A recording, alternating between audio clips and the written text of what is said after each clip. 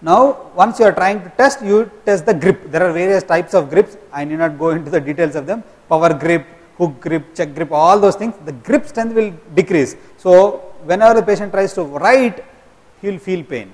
Whenever the patient is trying to squeeze something, he will feel pain. Whenever the patient is trying to put coffee into the uh, saucer and cup, he will feel pain. Whenever the patient is trying to ring, he will feel pain.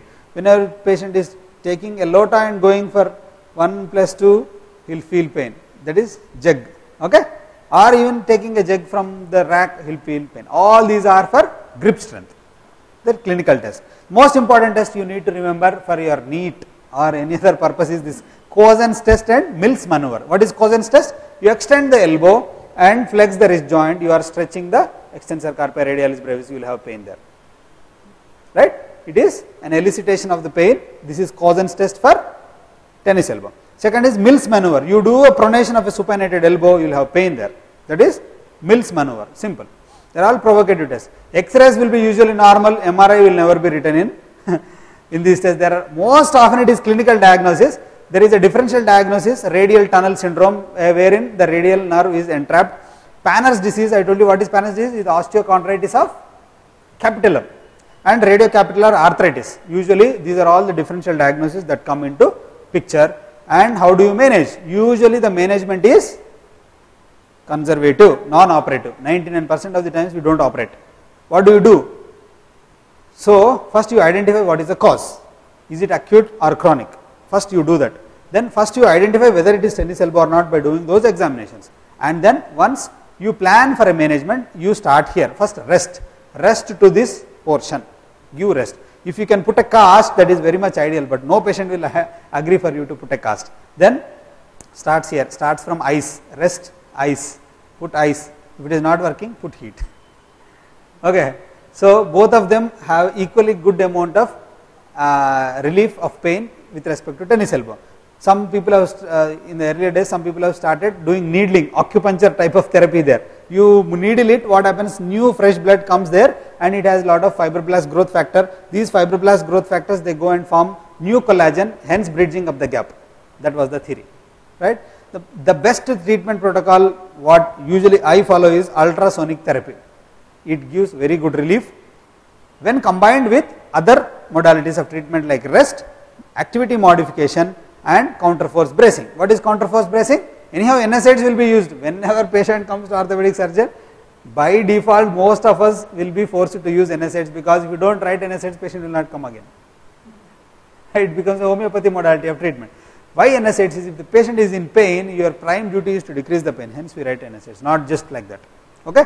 Not but thing is you should at the same time you should see to that all other modalities which are working well should be followed. Right?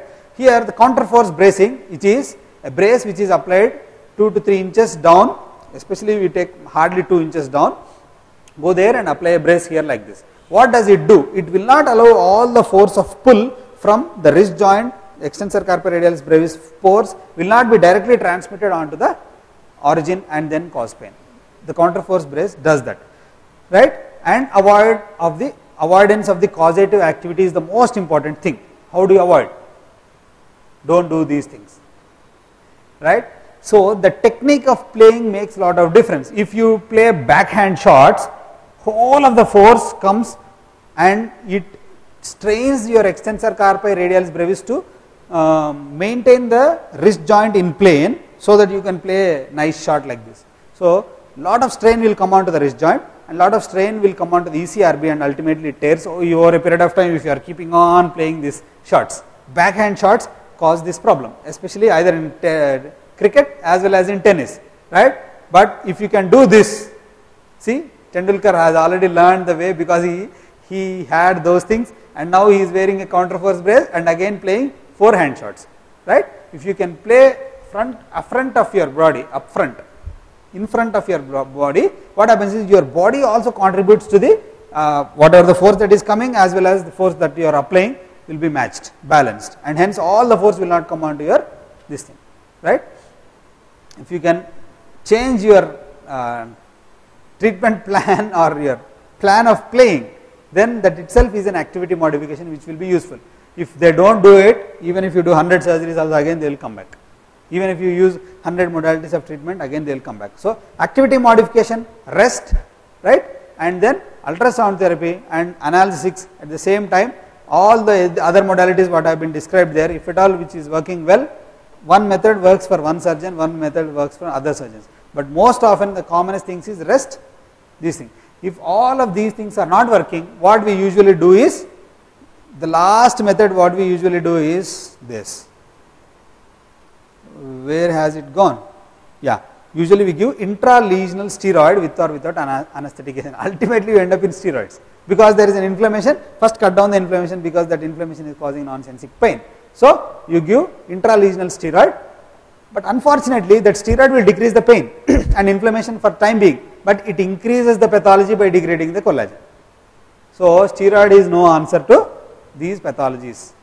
Ultimately, the answer is 1 rest, 2 activity modification, 3 ultrasound therapy and counterforce bracing, fourth thing is physiotherapy. Good physiotherapy should be done to strengthen this muscle so that it does not give way so easily to these forces. How do you strengthen? You do a physiotherapy where you take this bottle like this, okay, do not do these exercises to strengthen your biceps and your forearm muscles.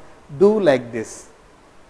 This is a good physiotherapy modality which strengthens your extensors and ultimately gives relief of what? Tennis elbow. And another modality wherein you push it up like this. Okay? Use other hand to force it down, right? And push it up.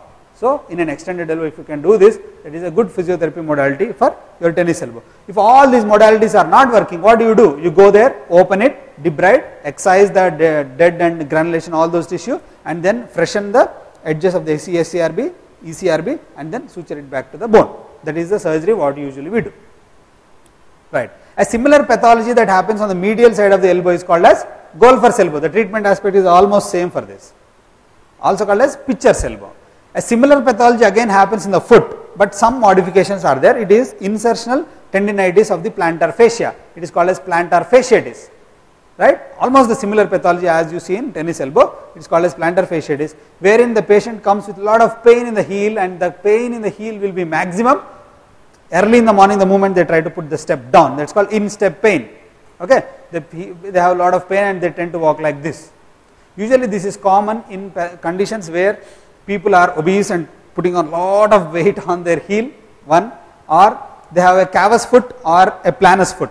Foot is not normal. The, the, the mechanics of weight bearing are altered and ultimately the medial calcaneal tuberosity takes a lot of weight and ultimately the plantar fascia is stretched too much and there is an insertional tear over there and ultimately there is a chronic inflammation going on and you have chronic pain.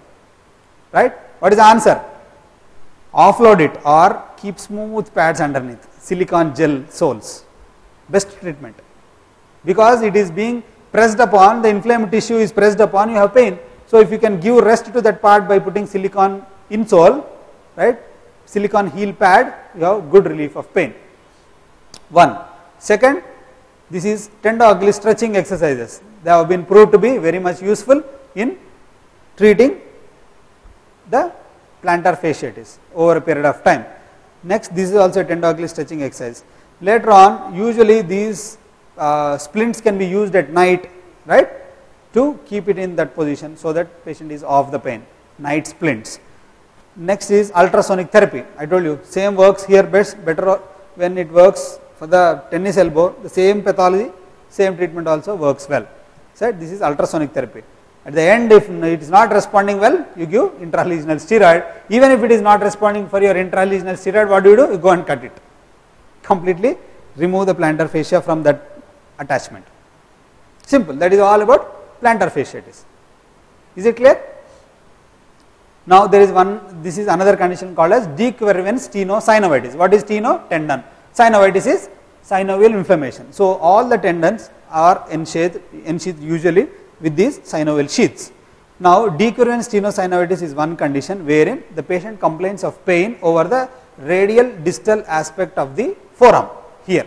They will usually come with swelling, tenderness, pain and uh, uh, it will be of acute origin. Why it is happening? It, this is a condition wherein uh, the first dorsal compartment which contains abductor pollicis longus, APL and EPB, extensor pollicis brevis. These two tendons they go underneath this tunnel right? At times these tendon sheaths are inflamed and uh, there is a constricting uh, band which is there over it and this constricting band will not allow these tendons to slide inside because there is a tenosynovitis that means there is a tendinitis maybe there may not be there but there will be definitely synovitis. That synovitis part which is there is, is wanting a larger space but this tendon sheath is not allowing. What will, what will happen? There is a constriction and you have pain because of inflammation as well as this constriction and these tendons cannot move freely within this tunnel. Now once you try to do move the tendon you will have lot of pain that is all about stenosing tenosynovitis conditions. If it is happening in this first dorsal compartment usually we call it as De Quervain's tenosynovitis. The inflammation may be because of rheumatoid inflammation or may be because of any other infection or maybe because of no infection just an inflammation. Because of trauma it can happen it is mostly idiopathic. It is mostly seen in diabetic patients and young girls, mostly idiopathic. So what do you do? First thing you examine. What is a test called as Finkelstein's test, right? If you take the thumb into the palm and then do a radial ulnar deviation of the wrist, you will have extreme pain on the radial side of the wrist, right? This is called as Finkelstein's test. Once you have done this Finkelstein's test, once you have diagnosed, first you have to decrease the inflammation. What do you do? How do you decrease? Rest, ice, all those things which applied for tennis elbow also come here. Right? Once you have given rest, ice, and if it is not coming with ice over a period of time, what do you do? You give analgesics too. You give analgesics for some time, decrease the edema, decrease or decrease the swelling, inflammation over there, and the best thing is go for surgery. Some people give intralesional steroid injection also, but if it so happens that the steroid injection goes into the tendon, there will be a tendon degeneration and the tendon will be cut, there will be a laceration. So, usually there are people who advocate this intralesional or subsynovial or intrasynovial injection of the um, what I should say steroid, low dose steroid, they inject the steroid into the sheath actually. There is a sheath, in the sheath these tendons are moving they will not inject into the tendon, they will inject into this space between the tendon and the sheath so that the inflammation is off, gone. But thing is I do not advocate this, I directly go for surgery, give analgesics for one week, decrease the edema, decrease the inflammation so that on operating table you do not have a lot of blood loss. Usually you do not even use tourniquet also, directly we, we give local anesthesia there and it is a 5 minute surgery. Release, release that thickened stenosing what first dorsal compartment which is harboring these two tendons and just free the tendons there abductor pollicis longus and extensor pollicis brevis there ends the matter. A similar pathology is trigger finger stenosing tenosynovitis of each and every finger. You have A1 pulley there are various pulleys what is the use of these pulleys they keep the tendon close to the bone and makes the ten tendon act at each and every joint in a synchronized way so that you have a ultimate effect of this sort rather than bowstringing. If the tendon is directly attached to here without any attachments here, what will happen? This will bowstring like this, right?